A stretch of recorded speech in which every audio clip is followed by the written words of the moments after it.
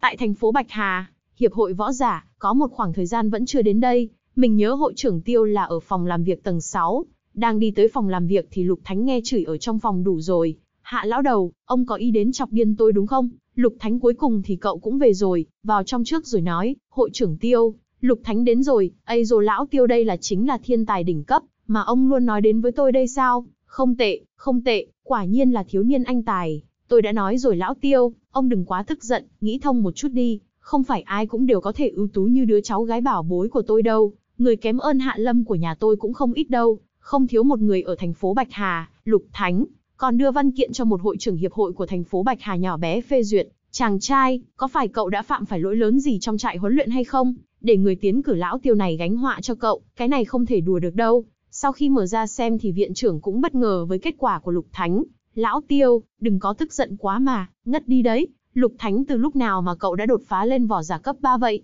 Có lẽ là tầm một tháng trước, ở trong trại huấn luyện tổng giáo quan đông đích thân giúp tôi kiểm tra. Cô ấy nói khu vực quân đội có tư cách công nhận thực lực của võ giả. Chỉ cần sau khi xong chuyện thì tìm ông để đóng dấu là được rồi. Có tư cách đương nhiên là có tư cách rồi ha ha ha. Tổng giáo quan của các người là đại diện cho cả khu vực quân đội của phía đông. Bây giờ tôi sẽ đóng dấu cho cậu, đưa tôi xem. Ông hạ vội chụp lấy tờ giấy trên tay viện trưởng là thật hay giả vậy. Võ giả cấp 3, 18 tuổi, lực chiến đấu 27 vạn, không lẽ là làm giả văn kiện ở đâu đấy chứ? Đưa đây đưa đây, viện trưởng lấy lại tờ giấy để ký cho Lục Thánh. Văn kiện giả, ông đi làm một cái giả thử cho tôi xem thử. Dấu in nổi của khu vực quân đội phía đông lớn như vậy đóng lên trên đó, ông không nhìn thấy sao? Tôi không tin, một tên tiểu tử bị loại sớm ở trại huấn luyện như cậu, dựa vào cái gì mà lực chiến đấu là 27 vạn được chứ? Lục Thánh thở dài, tôi chưa bao giờ nói bị trại huấn luyện loại, chỉ là ông vẫn luôn cho rằng như vậy mà thôi. À đúng rồi tiêu hội trưởng, tổng giáo quan bảo ông gọi điện thoại lại cho cô ấy, cô ấy sợ ông không tin văn kiện này,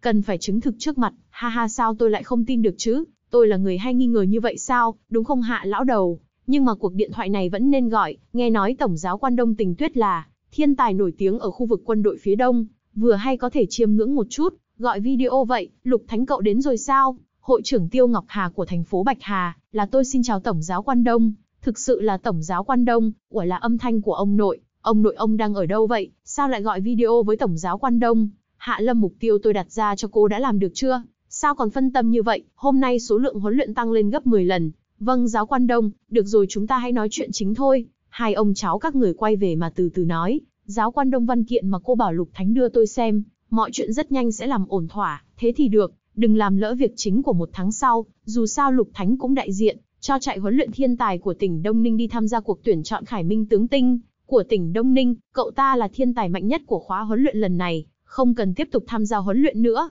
Sau khi nghe xong hội trưởng thất thần không tin được những lời mình vừa nghe, Khải Minh tướng tinh, thiên tài mạnh nhất, tê quá, thì ra trước đây cháu gọi video oán trách nói, Hạ Lâm cô bỏ lên cho tôi, chút độ khó này đã không chịu được rồi sao, cô có còn muốn chiến thắng lục thánh nữa hay không? Hu hu giáo quan đông, tôi thật sự không muốn, tôi đánh không lại cậu ta, sau này tôi nhìn cậu ta chạy không được hay sao? Quái vật trong trại huấn luyện, thì ra lại là lục thánh này, tôi biết rồi giáo quan đông, thế thì tôi không làm phiền nữa, hạ lão đầu, ông cũng có ngày hôm nay sao, hội trưởng tiêu trước tiên đừng tắt máy tôi, tiện thể muốn nói vài câu với lục thánh, lục thánh, cậu bảo tôi giúp cậu tìm chất liệu chế tạo vũ khí độc quyền của tinh thần niệm sư, có thể tìm thấy tôi cũng đã tìm thấy gần xong rồi, danh sách và giá cả cụ thể tôi sẽ làm thành bảng để gửi cho cậu, cậu muốn tôi mua cái gì thì cứ nói là được, điểm cuối cùng cậu hãy nhanh chóng đi thông qua kiểm tra tinh thần niệm sư, như vậy cậu có tư cách đăng nhập vào tinh võng, bản thân tự mua, cúp máy đâu, Lục Thánh vừa nãy giáo quan đông nói cái gì, là bởi vì tôi ở trại huấn luyện đã bị kiểm tra ra thiên phú tinh thần lực, cho nên giáo quan đông viết một thư để cử bảo tôi có thời gian,